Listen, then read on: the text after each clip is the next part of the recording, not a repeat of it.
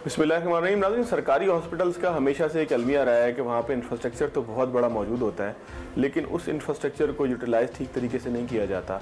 और प्रॉब्लम ये होता है कि लोग जब वहाँ पर आते हैं तो एक इल्ज़ाम ये लगता है कि सरकारी हॉस्पिटल्स में डॉक्टर्स या अमला वहाँ का उन्हें ठीक से ट्रीट नहीं करता। लोग जो है वो सड़क के किनारे पड़े होते हैं, फुटपाथ पे मरीज़ लेटे होते हैं। ये रोज़ बरोज़ हम देखते हैं कि मीडिया के ऊपर भी आता है, सोशल मीडिया पे भी आता है कि कोई मरीज़, कैंसर का मरीज़ था, लेकिन हॉस्पिटल के बाहर लेटा हुआ था, उसको पूछने वाला कोई नहीं था।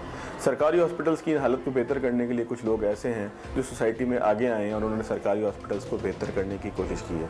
ये काम शुरू हुआ है बच्चों की सेहत के हवाले से, बच्चों के हॉस्पिटल से। सिंध में ये काम हो रहा है, कराची में ये काम हो रहा है, ये काम बड़े पैमाने पर हो रहा है। कौन लोग ये काम करते हैं, उनसे बात करते हैं, आज के प्रोग्राम में।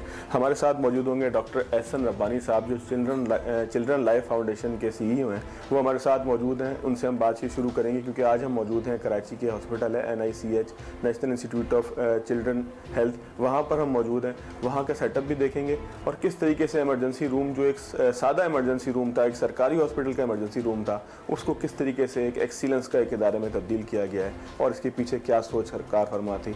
आज के प्रोग्राम में इसी की खोज लगाने की कोशिश करेंगे। डॉक्टर साहब, बहुत शुक्रिया आपके वक्त का।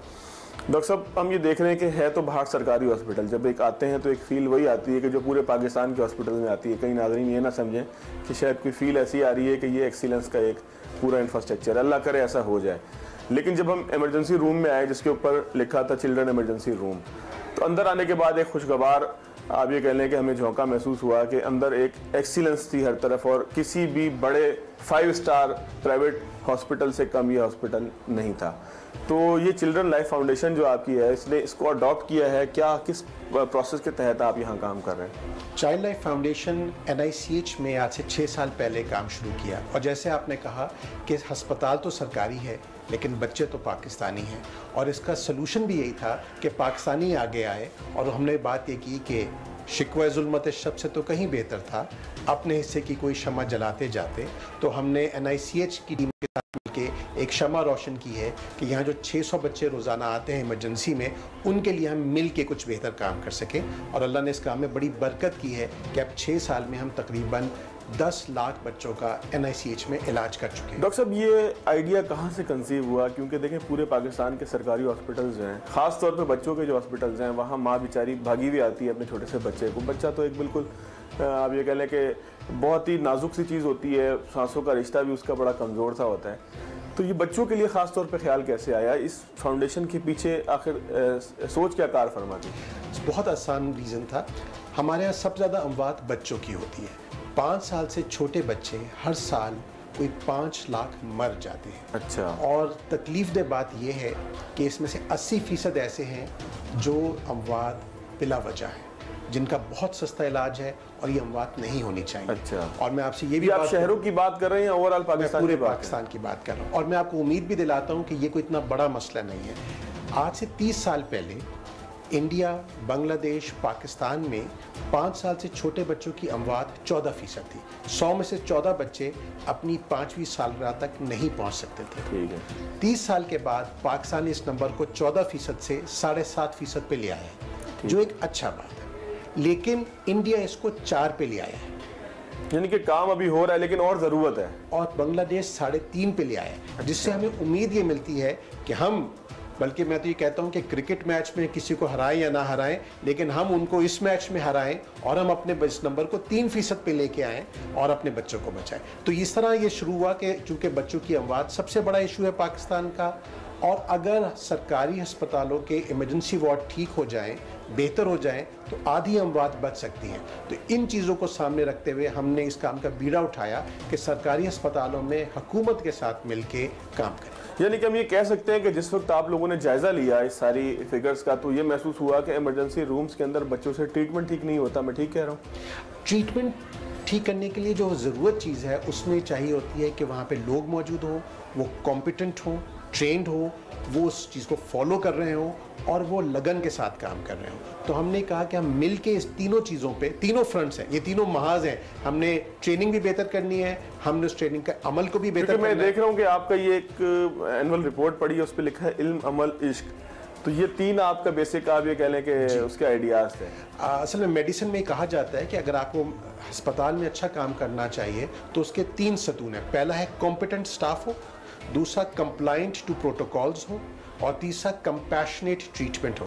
तो ये समझ लीजिए वेस्टर्न थ्योरी है लेकिन हमारी थ्योरी बहुत अच्छी ट्रांसलेट होती है कि आपको अपने काम का इल्म आता हो अपने काम जो इल्म है उस पर आप अमल करें और अपने काम से इश्क हो। क्योंकि हम वही कहते हैं कि गरबाजी इश्क की बाजी है जो चाहो लगा दो डर कैसा। बिल्कुल। अगर जीत गए तो क्या कहना हारे भी तो बाजी मात नहीं। अच्छा डॉक्टर साहब, आप इस इमरजेंसी रूम में जिधर हम बैठे हुए हैं, मैं बार बार इसलिए इसका तस्करा कर रहा हूँ कि ये महसूस नहीं हो रहा कि ये किसी फाइव स्टार होटल के किसी रूम से या किसी five star five star hospitals भी आपको मौजूद है, खासतौर पर कुछ पॉलिटिशियंस ने तो इसको प्रूव भी किया है। तो जब आप लोग आए, किस सन में आप यहाँ पर आए, किस साल में आपने काम शुरू किया और यहाँ पर उस वक्त क्या सूरत हाल थी जिसको रिप्लेस किया आपने इस एमरजेंसी रूम की एक्सीलेंस से? जी, असल में पाकिस्तान के तमाम सरकारी अस्पतालों का तकरीबन बराबर हाल है। बहुत ज़्यादा रश है, बहुत कम स्टाफ है, दवाइयाँ मौजूद नहीं होती अकाउंटेबिलिटी कम होती है। मैं तो बल्कि क्रेडिट दूँगा हुकूमत के लोगों को कि वो हमारे पास आए। हम सिविल अस्पताल में काम 2011 में कर रहे थे। एनआईसीएच के डायरेक्टर हमारे पास आए उन्होंने 2013 में कहा कि मैं आपको दावत देता हूँ कि हमारे साथ मिल के काम करें। तो ये बड़ी अच्छी बात है, बड़ी अच्छी लगन की बात है, जिसमें हुकूमत को हमें क्रेडिट देना चाहिए कि उन्होंने हमें इन्वाइट किया और हम उसके बाद हमने उनके साथ मिल के पूरे को रेनोवेट किया। पहले ये तकरीबन 22 बेड का इमरजेंसी रूम था, अब ये पचपन बेड का है। उससे तकरीबन 250 मरीज़ आते थे।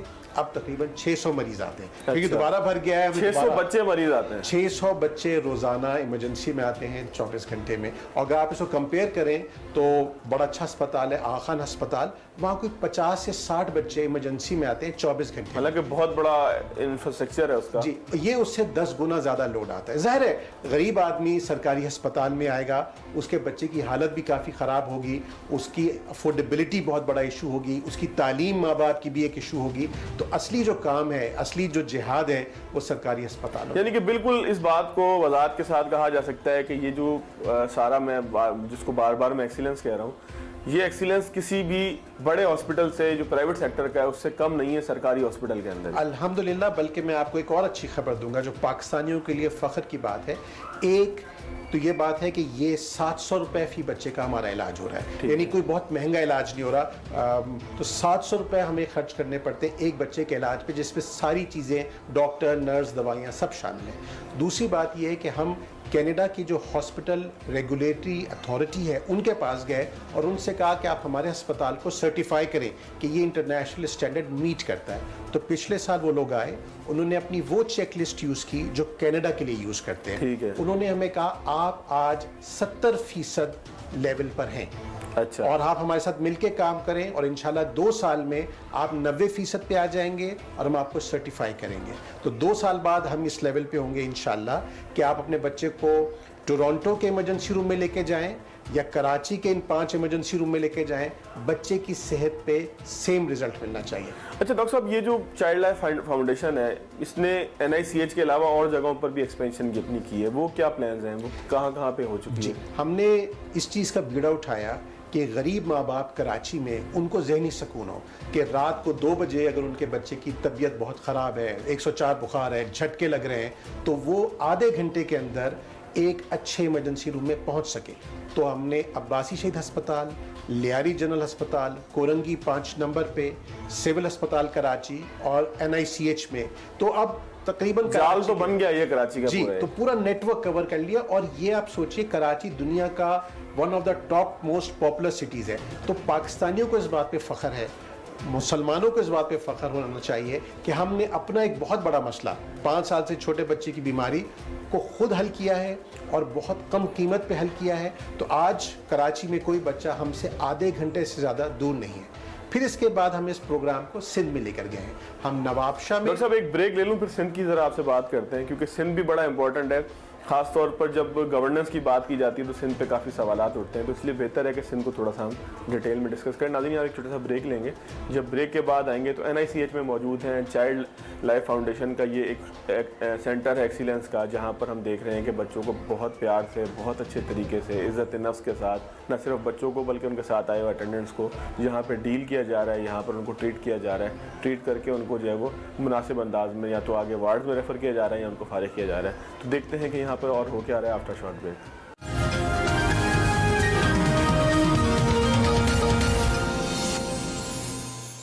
ब्रेक के बाद एक मरतबा फिर खुश आमदीद हम मौजूद हैं। कराची का एक बहुत बड़ा बच्चों का हॉस्पिटल है एन आई सी एच वहाँ पर मौजूद है। यहाँ पे डॉक्टर एहसन रब्बानी साहब हमारे साथ मौजूद हैं, जो सी ई ओ हैं चाइल्ड लाइफ फाउंडेशन के। उनसे बात हो रही थी। डॉक्टर साहब, सिंध की बात आपने की। सिंध के हवाले से लोग अक्सर सवाल करते हैं कि शायद हेल्थ केयर की फैसिलिटीज़ वहाँ बहुत अच्छी नहीं है। तो कराची भी सिंध का गो के हिस्सा है इसकी बात हो गई। बाकी कराची से अलावा जो बाकी आप ये कह लें कि जहरीन बलाई सिंध जो बच जाता है, वहाँ पे क्या सूरत हाल है? क्या प्लान है वहाँ के लिए? बहुत शदीद ज़रूरत है बेहतरी करने की।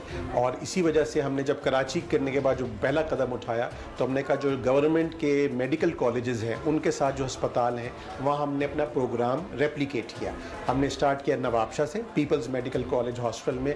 बहुत ज़बरदस्त अस्पताल है वहाँ पर तो हमने बिल्कुल नया बच्चों का इमरजेंसी विंग बनाया वहाँ पर उसके बाद फिर हम चाँद का मेडिकल कॉलेज लाड़काना पहुँचे हैं। वो भी अब ये दोनों अस्पताल एक साल से काम कर रहे हैं। ठीक है। अब मैं आपको एक अंदाज़ा बता देता हूँ कि ज़रूरत का।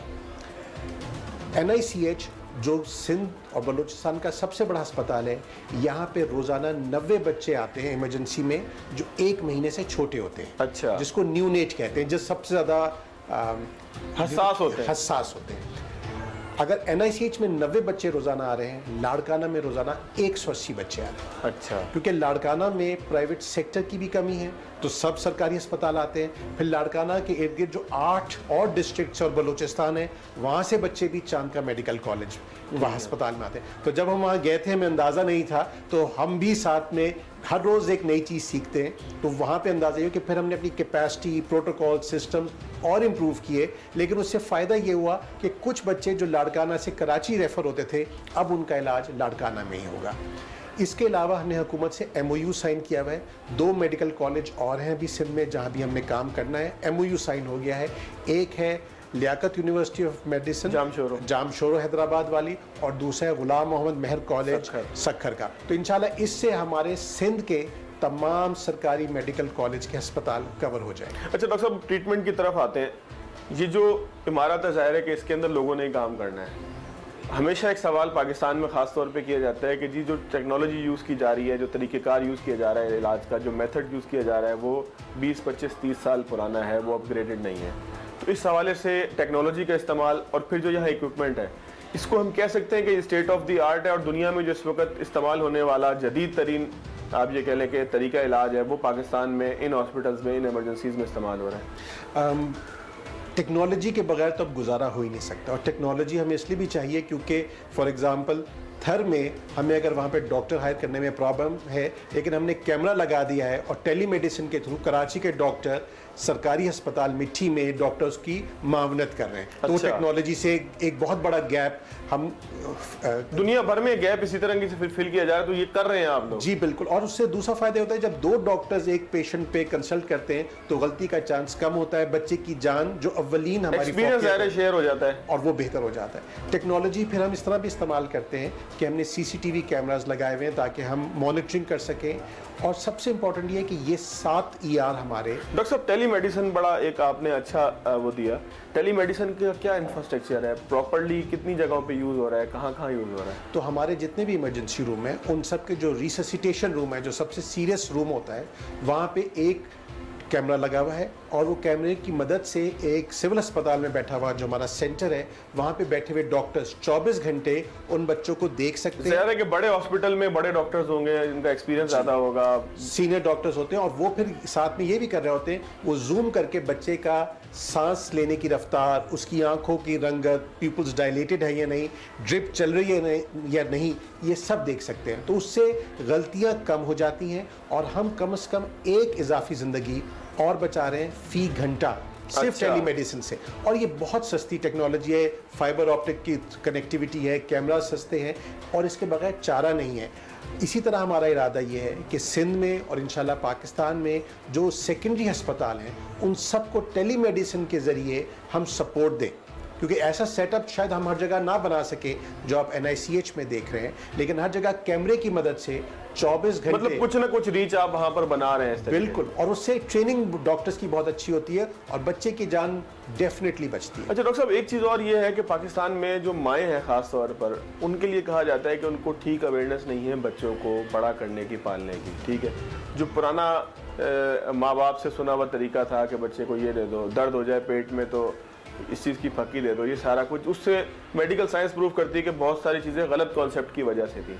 तो कोई अवेयरनेस के लिए भी चीज़ करते हैं कि जो माँ यहाँ पर आ गई है उसको कोई अवेयरनेस जी बिल्कुल बहुत ज़रूरी है क्योंकि prevention is better than cure हमारे पास जो भी मरीज़ आता है उसके माँ बाप का हम मोबाइल नंबर लेते हैं और उनको फिर हम एसएमएस के थ्रू जो छोटे बच्चे उनके माँ बाप को एज स्पेसिफिक मैसेज भेजते हैं। बच्चा हमारे पास आया है अगर डेढ़ महीने की उम्र में तो उसके एक महीने बाद जब वो ढाई महीने का है तो अब उसको पेंटा टू इंजेक्शन लगने चाहिए। तो वो हम उसको माँ को हिफाजती टीके जो है उसकी भी आप लोग उसको टीके का माँ के दूध के बारे में बच्चे के वीनिंग फूड्स के बारे में उसी तरह पानी बॉयल करने के बारे में वो तकरीबन डब्ल्यू एच ओ के डेढ़ सौ मैसेजेस हैं जो हम छोटे बच्चों के लिए उनकी माँ एज के हिसाब से भेजते रहते हैं रेलिवेंसी के हिसाब से। जी बिल्कुल। जो जो एक हफ़्ते वाला बच्चा है उसका मैसेज डिफरेंट है जो आठ महीने वाला बच्चा है उसका मैसेज डिफरेंट है। तो उस माँ को अपने बच्चे की उम्र के हिसाब से मैसेज मिलेगा तो इससे तकरीबन तीस या उससे ज़्यादा फ़ीसद में बेहतरी आती है।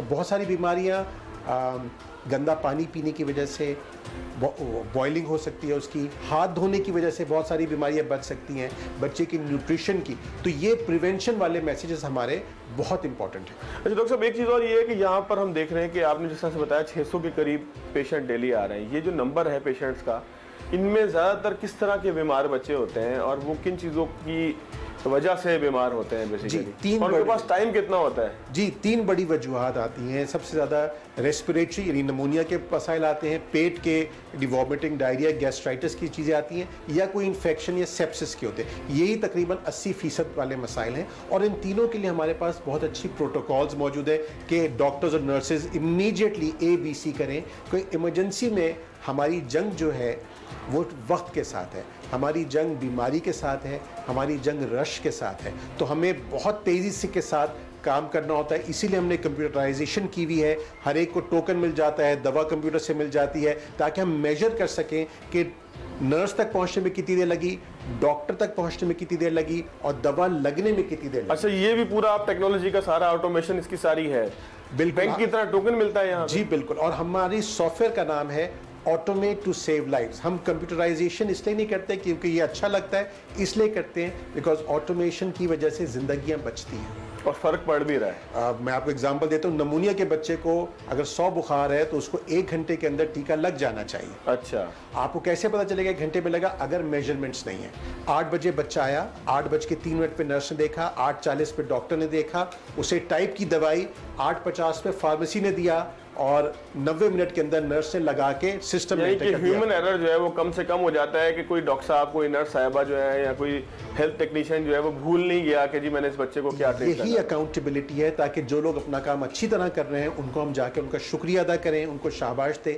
जो लोग नहीं कर रहे उनको कोच करें। अच्छा डॉक्टर साहब एक आखिरी बिल्कुल सवाल की तरफ़ आते हैं। ये जो पार्ट है हमारा इसका टाइम खत्म हो रहा है। क्या आप लोगों के आगे मंसूबे हैं? किस तरीके से इस चीज़ को जो है वो पूरे पाकिस्तान में और पूरे सिंध में ख़ास तौर पर फैलाना खून से जब जला दिया, एक दिया बुझा हुआ, फिर मुझे दे दिया गया, एक दिया बुझा हुआ, हमने सात दिए जला लिए हैं। फोर्टी वन दिए तक हमें पहुँचना है। हमारे साथ दुआ करें कि हम पूरे पाकिस्तान में जो मेडिकल कॉलेज, हॉस्पिटल्स हैं, वहाँ पे ऐसे इमरजेंसी रूम बनाएँ, जो सेकेंडरी अस्पताल हैं, वहाँ पे टेलीमेडिसिन से जाएँ। इन पाकिस्तान जो है अपने इंडिया और बांग्लादेश से कम कर देगा बच्चों के सर्वाइवल रेट्स ये इस बात का आप यकीन दिलाते हैं अच्छा लोगों के लिए कोई मैसेज आप छोटा सा कोई देना चाहें? ज़ाहिर है कि इसमें आपको लोगों का ताउन भी चाहिए होगा।